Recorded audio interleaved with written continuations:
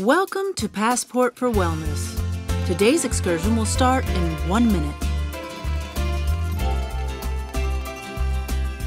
Enjoy the sights and sounds of today's Passport for Wellness destination.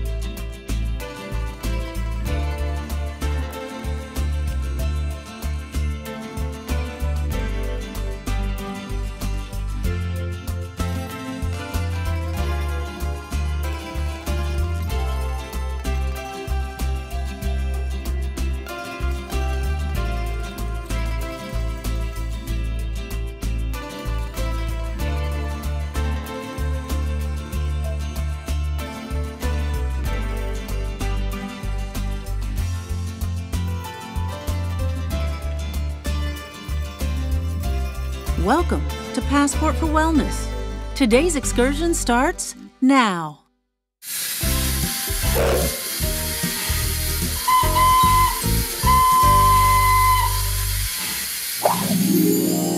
Well, hello there. Looks like you're ready to do some traveling today. I'm your conductor, Hank, and I am just thrilled that you'll be traveling with us today.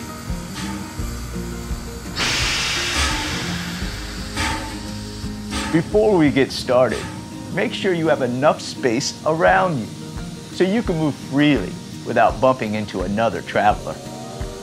That also means having your own chair to sit in when needed, as well as the person's chair in front of you to use for balance when standing. Make sure you have enough space to walk in place and to stretch your arms out wide and move from side to side. If you plan on sitting throughout our excursion, make sure you have enough space to move your legs and to stretch out your arms and move from side to side. Just follow along with what you see on the screen at a comfortable pace. If you're sitting, make sure you follow along with what you see in this special box. Be sure to slow down or stop at any point if you feel lightheaded or dizzy. Only participate if you feel confident and comfortable moving your body throughout our travels. So, where are we headed today? Oh, traveling back into the past, are we? Exploring the Roman era with its mighty monuments and magnificent cities. Maybe checking out the Renaissance while we're at it. Birthplace of enlightenment and curiosity. Must be exciting heading to ancient Italy. I can remember investigating some of those places myself many years ago. Of course, I was much younger back then.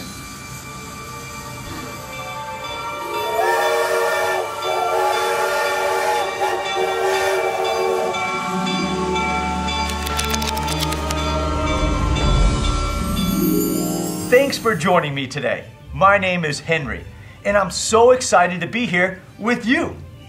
We're here along the Appian Way in ancient Italy. It's the earliest Roman road and one of the most strategically important. Come on, everyone. Let's act like we're marching. Roman soldier style. Rome's famous roads were often built by soldiers so they can move quickly around the Roman Empire, as well as provide reliable routes of transportation for officials and trade. The roads were built so well that some are still in use today. When people say all roads lead to Rome, back in the day, they really did. The Romans were excellent engineers at moving water as well as people. Here, twist from side to side like a bucket brigade. That was the old way of moving water. But the Romans, well, they devised an aqueduct to channel water from fresh sources in the mountains and let gravity flow it down into the cities. Rome had over 250 miles of aqueducts, bringing its thirsty population water. One fountain discharged nearly 20 million gallons a day. Whew!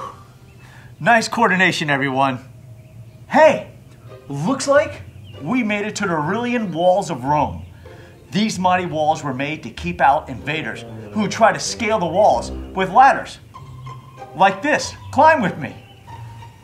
The city of Rome was sacked several times during the Roman Empire's reign of nearly 500 years. Keep climbing. When the Germanic tribes, like the Visigoths and Vandals, were successful, they took everything and left the city on fire.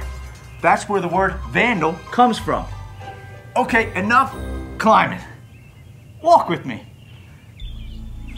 Luckily, we're visiting ancient Italy on a happier day when the empire was strong and the emperor ruled supreme. How many Roman emperors can you name? Maybe just try some of the famous ones. One of Rome's most famous fountains wasn't built by the Romans, but their story inspired its creation. The famous Trevi Fountain.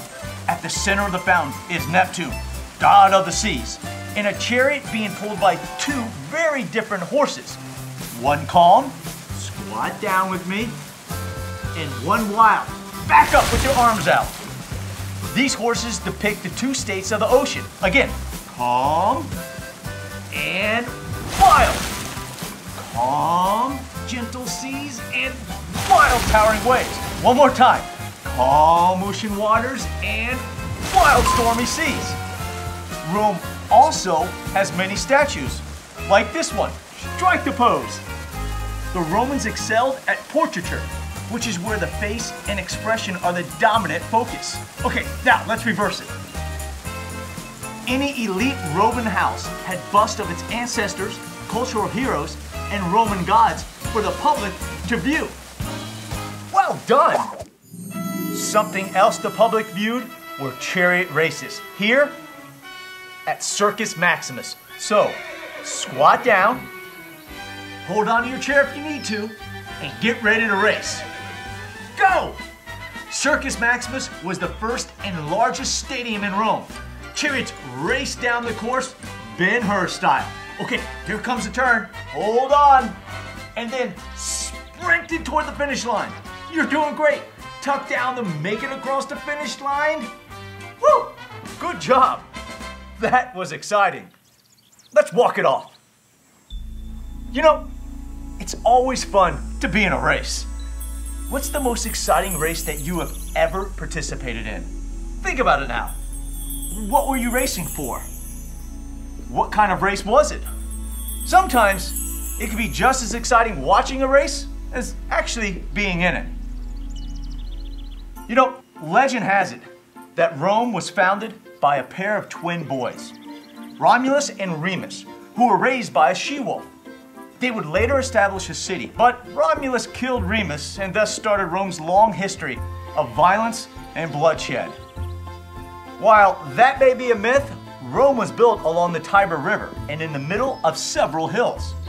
Okay, quick quiz time. How many hills was Rome built around? Was it three, five, or seven?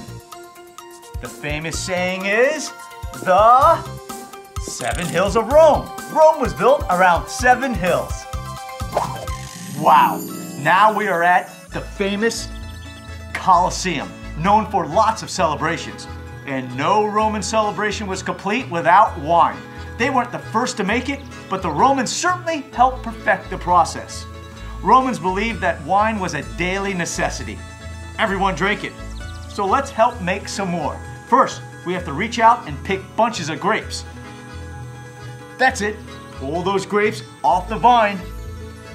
Now comes the fun part stomping the grapes. Take your feet and stomp down hard to crush the grapes.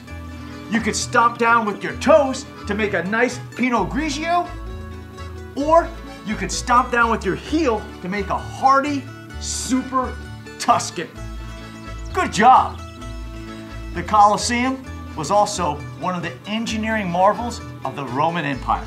It even had a retractable roof.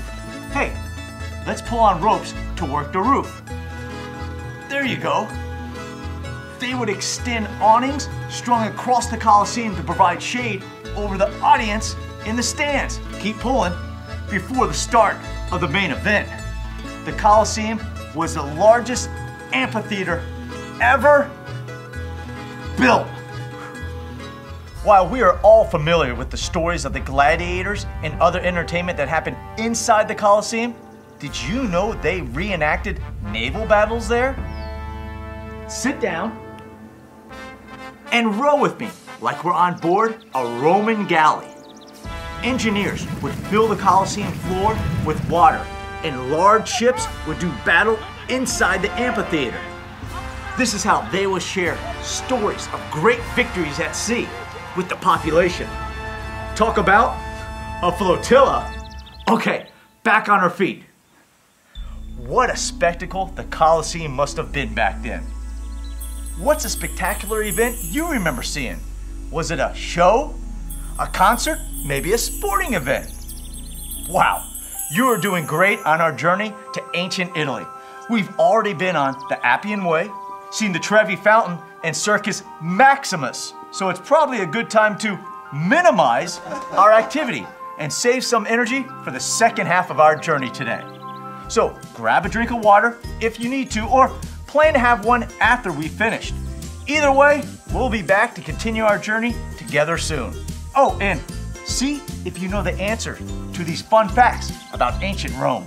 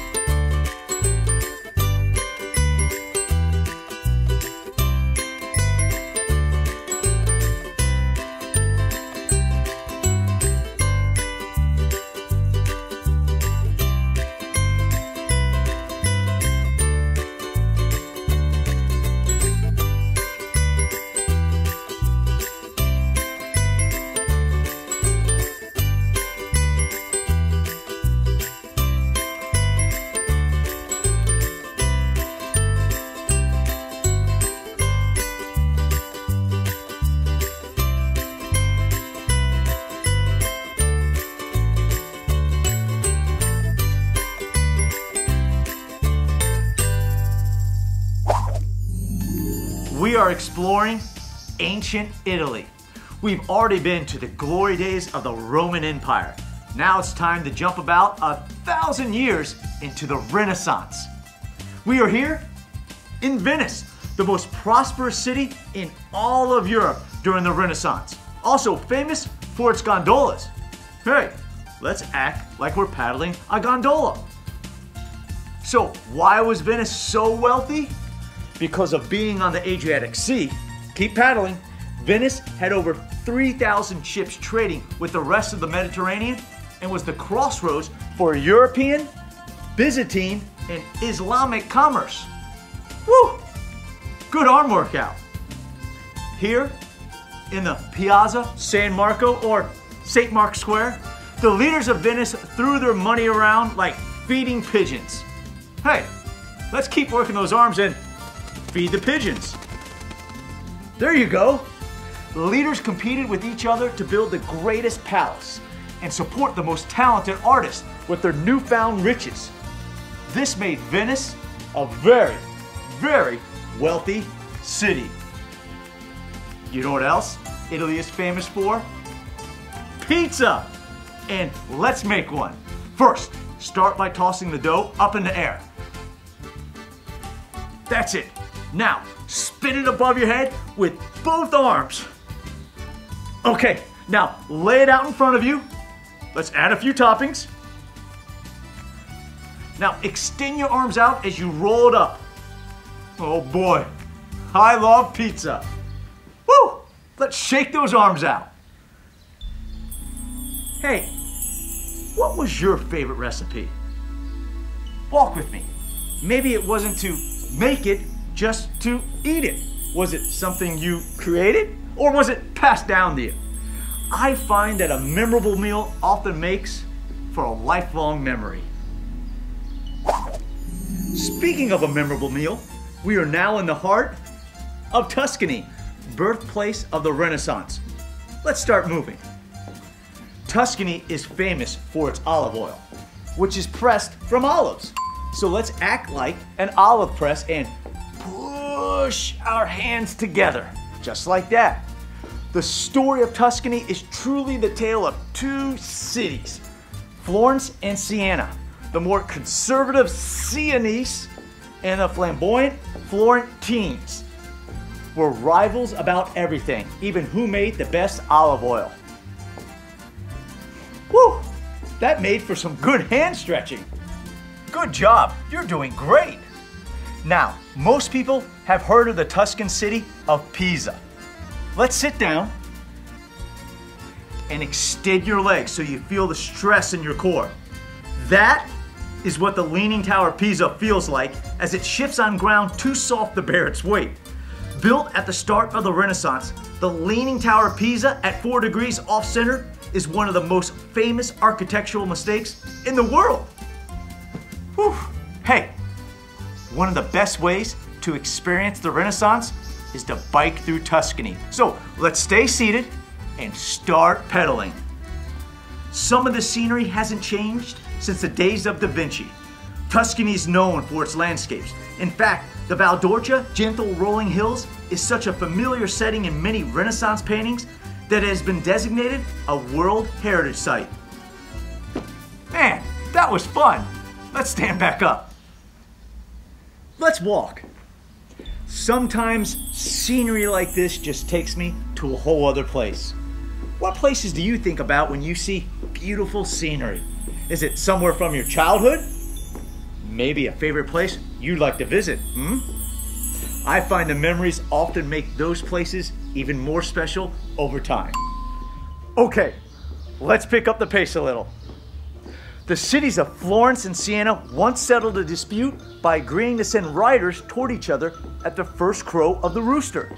Siena fed their white rooster well, but Florence cut back on their black rooster's rations.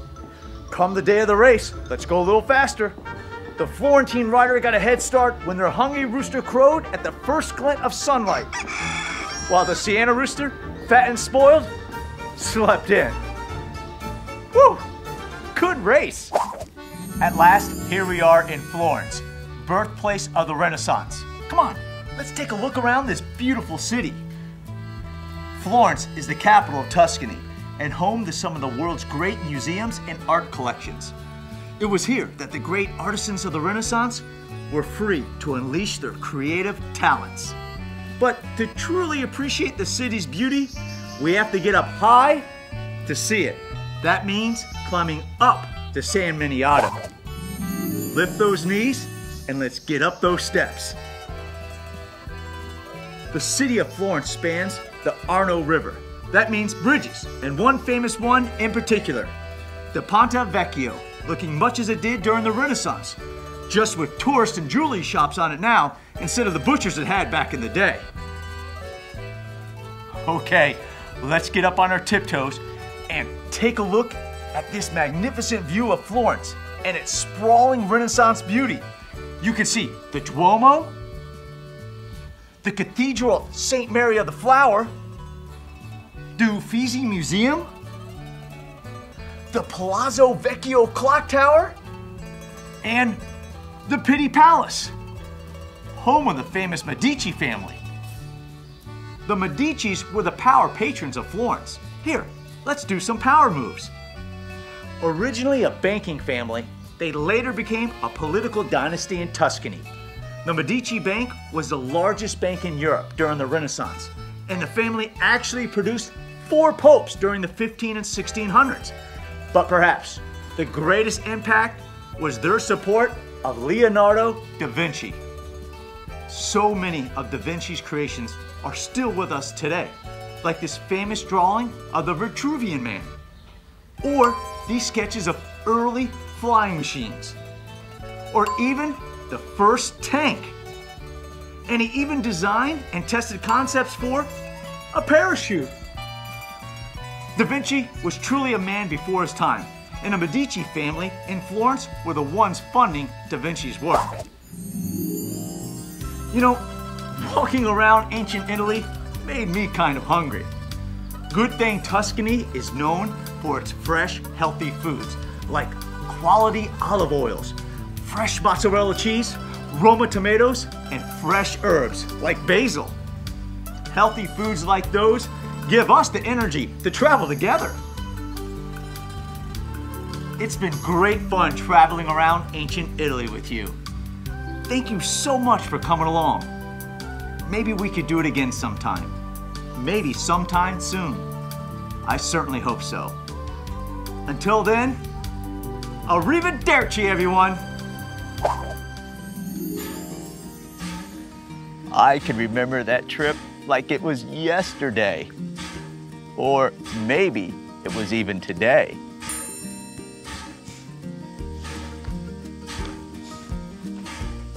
When I'm traveling, I like to stretch the muscles that I've used once our journey is done. If you're standing, have a seat. Let's first lace our fingers together and push your arms out forward in front of you. Oh, boy, that feels good. Next, let's lift our left knee up and pull it towards you. Excellent. Now let's do the same with our right knee. Uh, there you go. Oh. Okay, time now for a few deep breaths. Breathe in as far as you can raise your arms up above your head. Oh. And breathe out as you move your arms to your side. Good job. Breathe in. Breathe out. I could just imagine what it must have been like visiting ancient Italy, where all roads lead to Rome. Breathe in. Breathe out. Racing chariots in the Circus Maximus. Hoisting the shades in the Colosseum. Breathe in. Breathe out. Paddling a gondola in Venice leaning like the Tower of Pisa, and then hiking through the Renaissance in Florence, Italy. Magnifico! Taking a fanciful journey like that today reminds me of all kinds of things.